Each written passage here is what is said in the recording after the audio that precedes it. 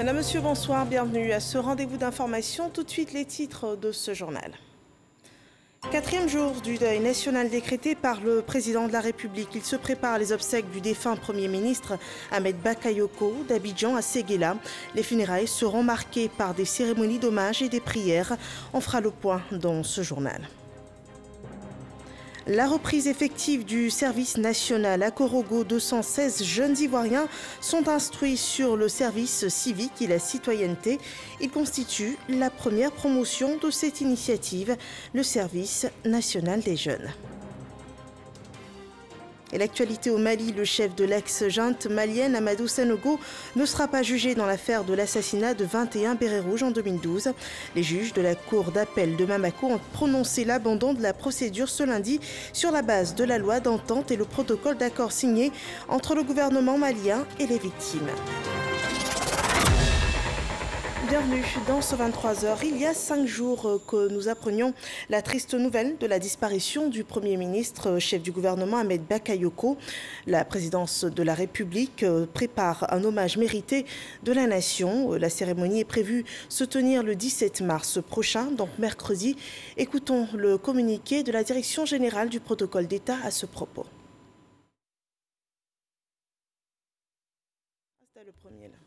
Les personnalités civiles et militaires ci-après sont conviées à la cérémonie d'hommage de la nation au Premier ministre Ahmed Bakayoko qui aura lieu le mercredi 17 mars 2021 à partir de 9h sur l'esplanade du palais de la présidence de la République. Ce sont Monsieur le ministre d'État, Premier ministre par intérim, Monsieur le président de l'Assemblée nationale, Mesdames et Messieurs les présidents des institutions, Messieurs les anciens premiers ministres et anciens présidents d'institutions, Mesdames et Messieurs les ministres, Monsieur le directeur du cabinet du Premier ministre, Madame le secrétaire général du gouvernement, Mesdames et Messieurs les secrétaires d'État, Mesdames et Messieurs les chefs de missions diplomatiques et représentants des organisations internationales, Madame et Messieurs les conseillers spéciaux à la présidence de la République, Madame et Messieurs les directeurs du cabinet des ministres à la présidence de la République, Messieurs les directeurs du cabinet adjoint du Premier ministre, Monsieur le secrétaire général adjoint du gouvernement, Monsieur le secrétaire général du ministère des Affaires étrangères, Mesdames et Messieurs les directeurs, conseillers et conseillers techniques à la présidence de la République, les représentants des bureaux des institutions de la République à raison de deux représentants par institution, Mesdames et Messieurs les préfets de région, Monsieur le président de l'Académie des sciences, des arts et des cultures d'Afrique et des diasporas, ASCAD, Monsieur le général du corps d'armée, chef d'état-major général des armées, Monsieur le général du corps d'armée, commandant supérieur de la gendarmerie nationale, Monsieur l'administrateur général, directeur général de la police nationale, Monsieur le chef d'état-major particulier du président de la République, Monsieur le directeur général des douanes, Monsieur le directeur général des affaires maritimes et portuaires, Madame la directrice générale des forêts et de la faune, Messieurs les présidents des autorités de régulation, Messieurs les maires du district d'Abidjan, Madame et Messieurs les présidents des universités publiques, Messieurs les présidents des chambres consulaires, Mesdames et Messieurs les présidents des conseils d'administration et directeurs généraux des entreprises publiques et parapubliques,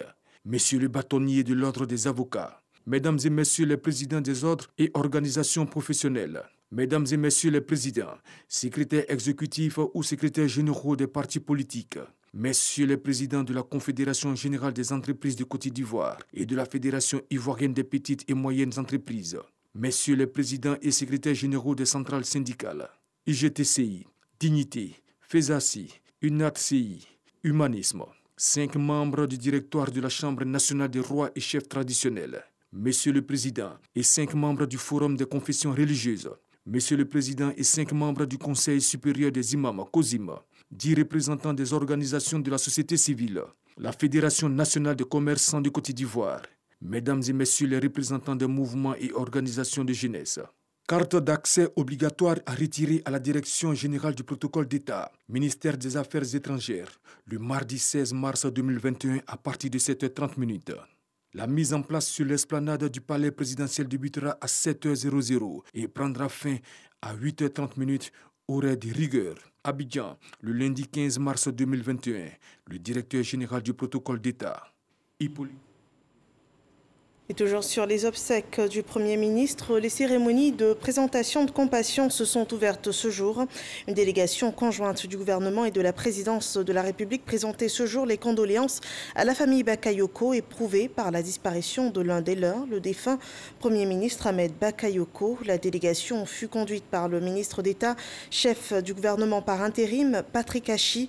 La délégation gouvernementale a à cette occasion salué la mémoire d'Ahmed Bakayoko, ce grand serviteur de l'État de Côte d'Ivoire. Un livre de condoléances s'est ouvert à la primature pour rendre hommage au défunt Premier ministre. Ce 15 mars 2021, des ambassadeurs et des chefs d'organisations internationales accrédités en Côte d'Ivoire ont salué la mémoire d'un chef, d'un ami, d'un partenaire et d'un grand homme d'État.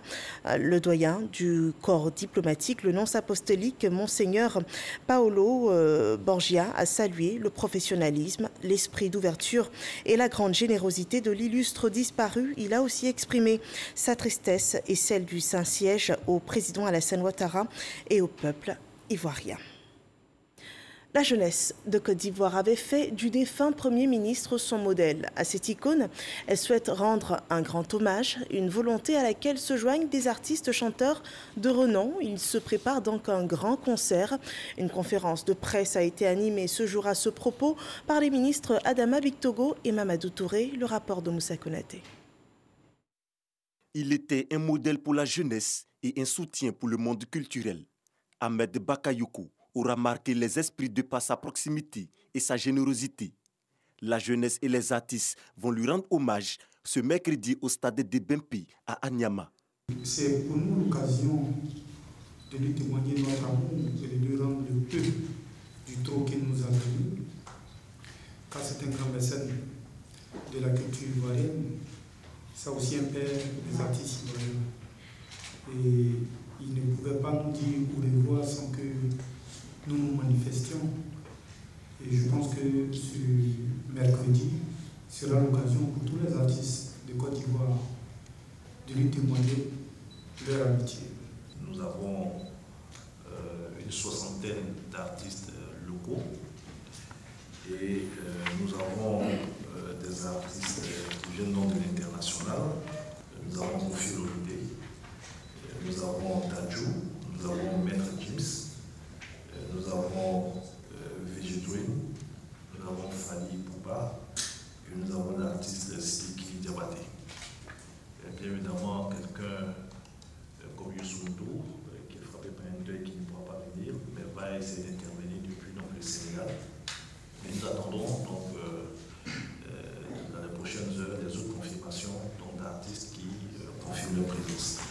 Ce grand rendez-vous de reconnaissance au chef du gouvernement sera aussi marqué par la présence de l'ensemble de la classe politique ivoirienne. Il y aura des interventions de la classe politique. Il n'y aura pas que le RHDP qui va s'exprimer. Il y aura donc les partis frères, quelques membres de la société civile, cette cérémonie du mercredi après-midi doit être le couronnement de ce qu'il a entrepris à travers le dialogue politique. C'est pour cela que l'intervention des hommes politiques et de la société civile doit traduire son engagement pour le dialogue politique.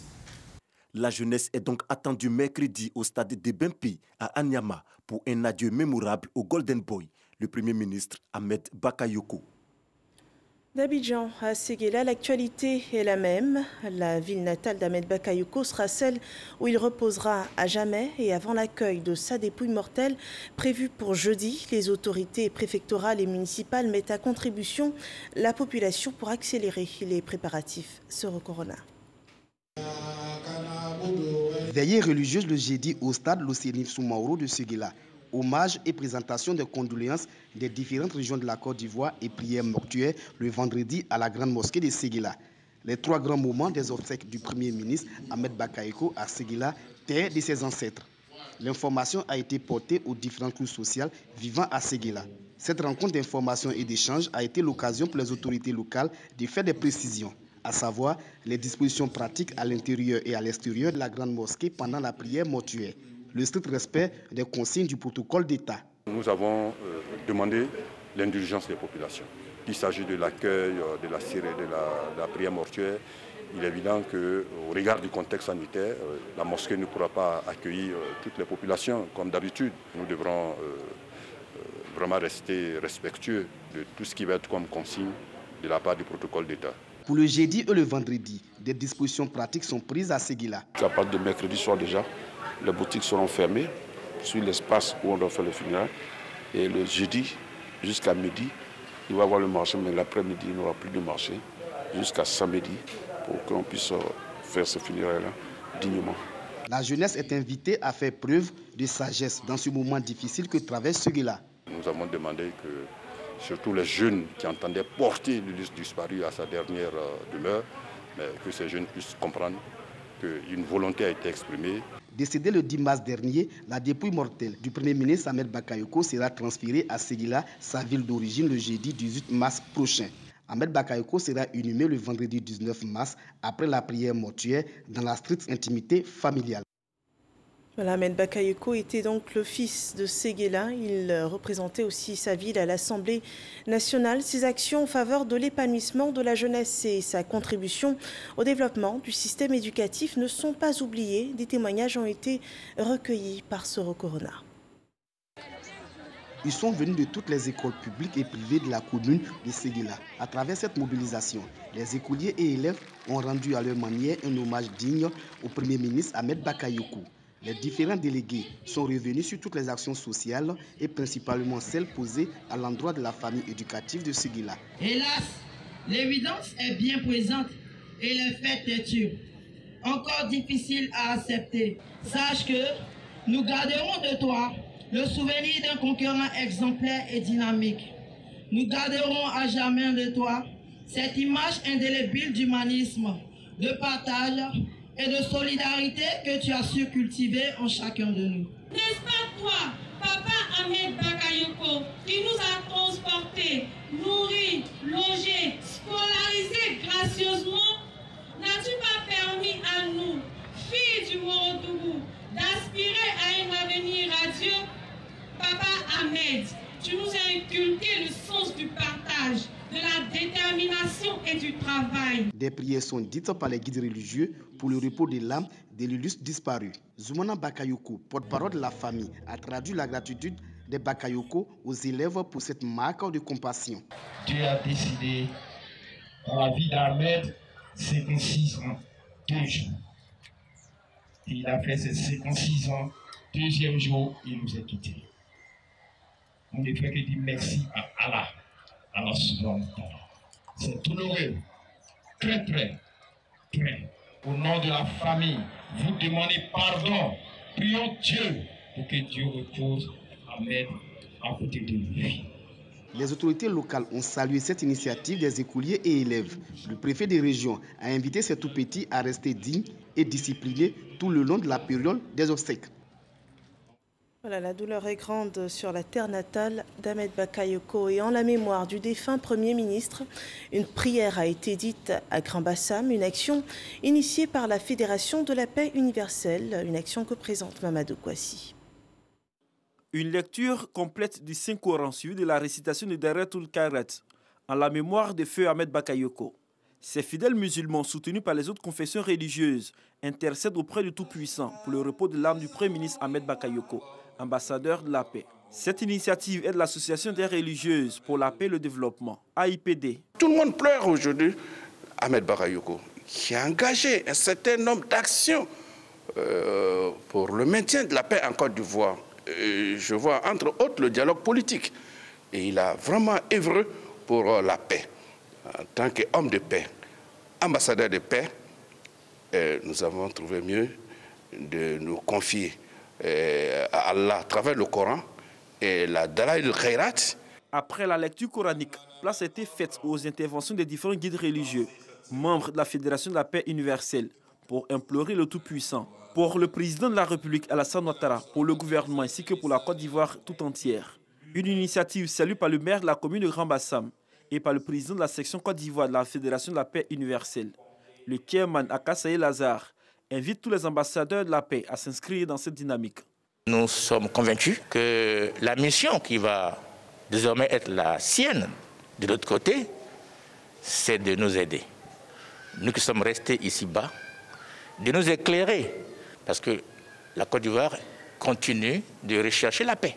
Aujourd'hui, nous ne pouvons qu'offrir nos suffrages à Dieu pour le repos de son âme et nous souvenir de tous ses bienfaits, de tous les actes positifs qu'il a posés à l'endroit de la nation ivoirienne, de son engagement tout le long de sa carrière pour la construction d'une Côte d'Ivoire solidaire. Après cette étape, la grande mosquée Fatima Zahra de Grand Bassam, les ambassadeurs de la paix en général et l'association interreligieuse pour la paix et le développement, conduite par l'imam Moussa Dramé, comptent mener d'autres actions en faveur de la paix en Côte d'Ivoire. Voilà des prières et pensées pieuses pour soutenir cette période de préparatifs des obsèques du défunt Premier ministre décédé le 10 mars dernier en Allemagne. Nous reviendrons sur cette actualité dans nos prochains journaux. À présent, le point de la situation sanitaire.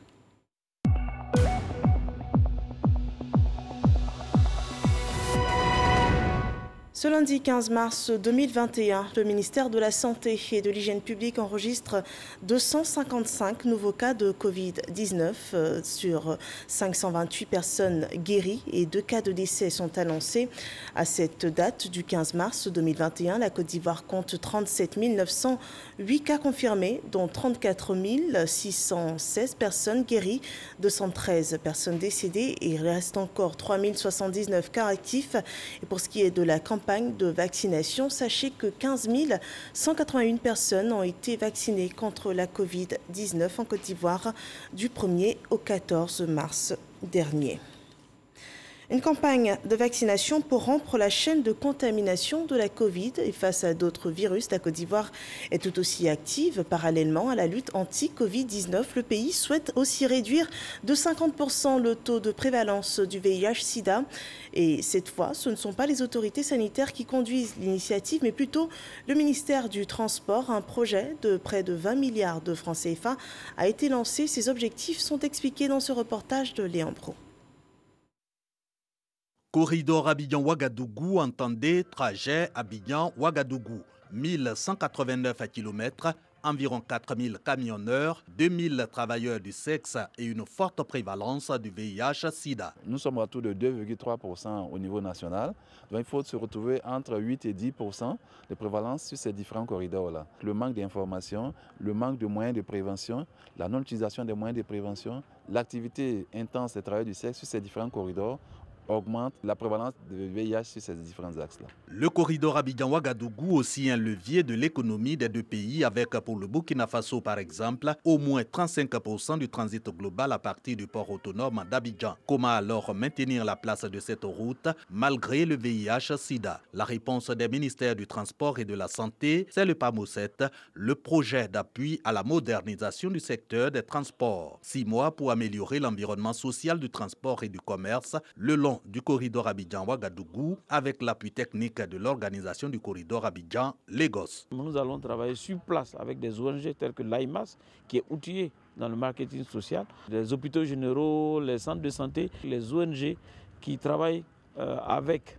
euh, les camionneurs le long de la route. De telle sorte que le camionneur euh, ait l'information juste pour se protéger il a les produits à sa disposition pour se protéger. C'est un programme qui est destiné à tous les acteurs, à la jeunesse, aux professionnels du sexe le long de ce corridor, pour faire en sorte que euh, nous puissions freiner euh, la progression de la pandémie du VIH le long de ce corridor et par ricochet dans le secteur des transports. Entre autres volets de ce projet destiné à 2 600 000 personnes, accroissement de 50%, l'offre de services VIH, renforcement des capacités des personnels et centres de santé, le PAMOSET est financé par la Banque mondiale pour 45 millions de dollars, soit environ 20 milliards de francs CFA.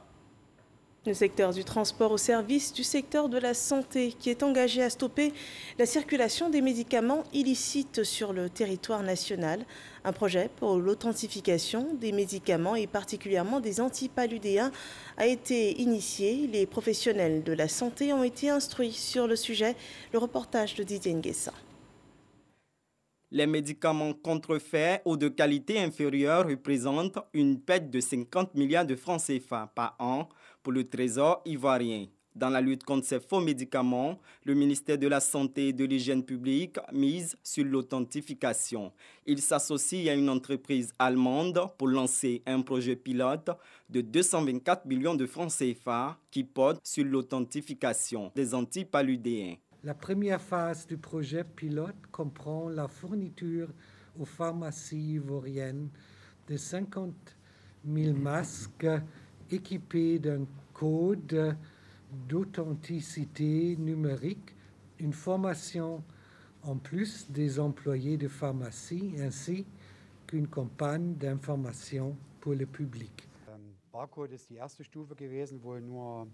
Le, grand avantage de cette technologie, c'est qu'elle est, à part des médicaments, elle est applicable à tous les produits disponibles. On peut le voir, par exemple, même euh, dans les produits aéronautiques. La, la première fois qu'on l'applique sur les médicaments, c'est ce projet euh, en Côte d'Ivoire, ce qui permet à la Côte d'Ivoire d'être dans l'avant-garde 2 millions de produits médicaux seront étiquetés. Il s'agit pour nous de trouver les voies et moyens pour euh, faire face à, un défi majeur que constituent euh, les médicaments contrefaits, les médicaments de qualité inférieure qui empoisonnent le système de santé publique.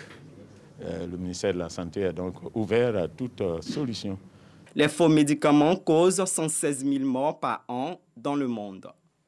Voilà un autre sujet d'intérêt, la reprise effective du service national des jeunes. 216 jeunes Ivoiriens sont formés à Korogo sur les valeurs de la citoyenneté et à Mississoko rend compte de la rentrée officielle. Nous devons vivre ensemble, partager l'amour, la paix, la cohésion sociale. 216 jeunes Ivoiriens issus de 108 départements du pays en formation à Korogo sur les valeurs relatives au civisme. C'est la toute première promotion du service national des jeunes, SNJ, constitué de jeunes volontaires.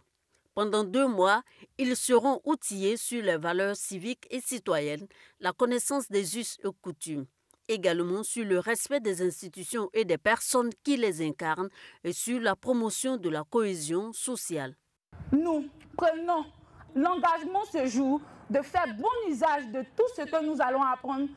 Nous souhaitons que ce merveilleux projet s'étende à tous les jeunes Ivoiriens afin de favoriser davantage la culture de la paix, du civisme et de l'engagement communautaire en Côte d'Ivoire.